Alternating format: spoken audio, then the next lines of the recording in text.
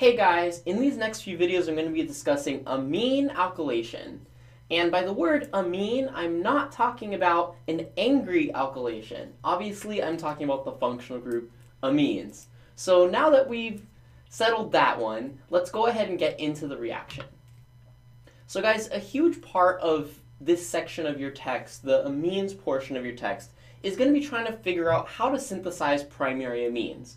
Primary amines are useful for lots of different applications, and we're always trying to figure out what's the best way to make a primary amine of my choice. Well, the go-to reaction that we would possibly think of is why don't we use an alkyl halide? Because if you look at an amine, it's got a very nucleophilic, I'm just going to put here Nu negative, a nucleophilic lone pair. Now there isn't a full formal charge on this molecule at all. I'm just using the Nu negative as my symbol for nucleophile. I've got an electrophile, which is the carbon that is attached to my halide. So this opens up for a reaction that we learned a long time ago, and it's one of those mechanisms you're never allowed to forget, backside attack, or SN2, okay? So theoretically, we can make primary amines through the reaction of an amine and an alkyl halide. So let's go ahead and just talk about this for a second. Um, I'm not going to draw the whole mechanism, but we're just going to draw like an abridged one here. You would have the lone pair doing a backside attack, because um, on my electrophilic carbon, I would kick out my leaving group. What you would wind up getting, you know, just from this very first reaction is you'd have an NH3 that's now attached to a three carbon chain. So I'm just going to write one, two, three, okay? Now, one of the problems with that is that you're going to have a positive charge, okay? Because now you have an extra bond to that nitrogen that wasn't there before. That's why we always run this reaction in a basic environment, something like NaOH.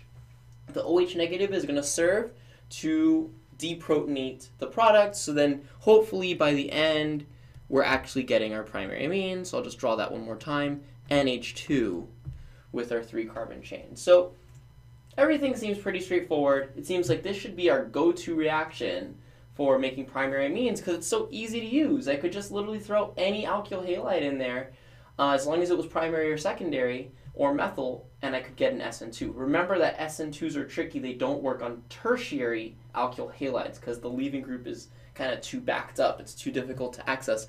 But we've got another problem on top of that, guys. It's not just that SN2 has its limitations.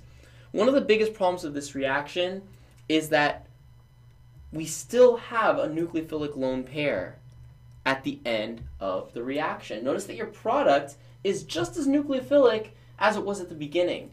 So what we get is a possibility of multiple alkylations. And what we're going to find is that the predominant product in these reactions is going to be a polyalkylated amine, which kind of sucks if you're trying to make a primary amine.